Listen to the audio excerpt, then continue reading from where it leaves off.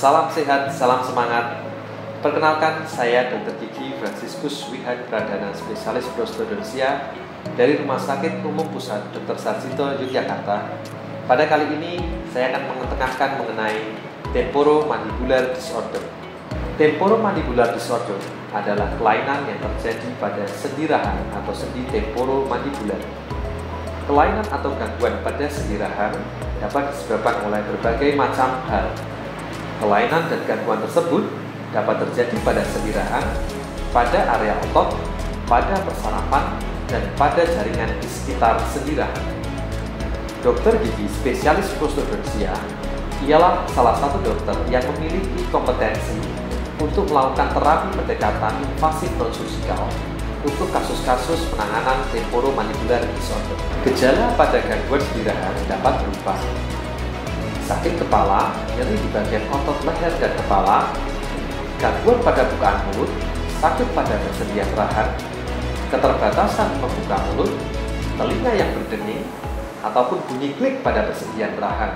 Penyebab terjadinya kelainan sendi rahang atau temporomandibular disorder antara lain trauma, kehilangan gigi, bad habit atau kebiasaan buruk, postur yang salah, penyakit sistemik, dan tidak kalah pentingnya ialah faktor psikologis.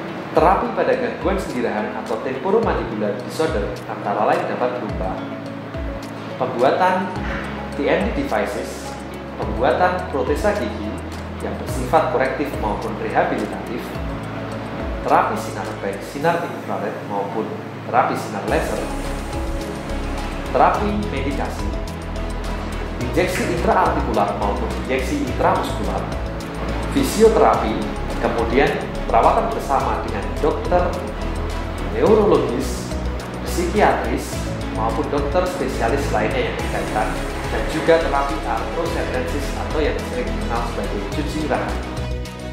Gerakan senam rahang atau TMD exercises antara lain. Yang pertama, gerakan mengangkat lidah ke belakang atas menyentuh langit-langit, kemudian ditahan kurang lebih selama 6 detik, dilakukan repetisi kurang lebih 6 kali, sambil mengatur napas dan postur tubuh yang baik.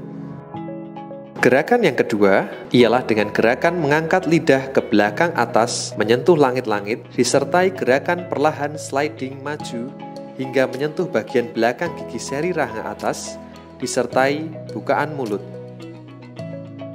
Gerakan yang ketiga ialah gerakan menekan ringan area depan lubang telinga disertai gerakan buka tutup mulut perlahan. Gerakan ini dapat dilakukan repetisi enam kali. Gerakan yang keempat ialah gerakan menempel dan menahan dagu dengan ibu jari kanan dan kiri disertai gerakan bukaan mulut Perlahan ibu jari menahan bukaan mulut tersebut. Gerakan yang kelima ialah gerakan memegang area sekitar lateral atau samping dagu dengan ibu jari dan jari telunjuk kanan dan kiri, disertai gerakan tutup mulut, disertai tahanan oleh ibu jari dan jari telunjuk. Gerakan dilakukan secara perlahan.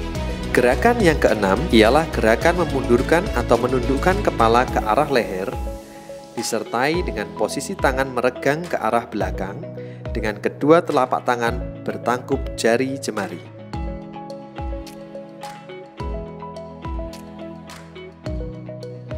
Gerakan yang ketujuh ialah gerakan kepala ke atas dengan posisi tangan ke arah bawah belakang dengan kedua telapak tangan bertangkup jari jemari disertai membusungkan dada. Gerakan yang kedelapan ialah gerakan menggerakkan kepala, rebah kiri dan rebah kanan, serta toleh kiri dan toleh kanan dengan posisi rongga mulut bukaan rileks. Gerakan kesembilan ialah gerakan meletakkan jari telunjuk antara gigi rahang atas dan bawah disertai sedikit ruang yang memungkinkan gerakan ke samping sendi rahang atau lateral sendi rahang dan anteroposterior atau maju mundur sendi Demikian senam rahang atau TMJ exercises yang kita gagal tadi merupakan bentuk upaya pencegahan timbulnya kelainan tempuru mandibular disorder ataupun terapi ringan pada kasus TMD yang ringan. Pada kasus TMD yang berat, tentunya akan diperlukan konsultasi dokter yang kompeten. Saya Dr. Lihat pamit undur diri, salam senyum sehat dari Poli Gigi dan Mulut Rumah Sakit Umum Pusat Dr. Sarjito, Yogyakarta.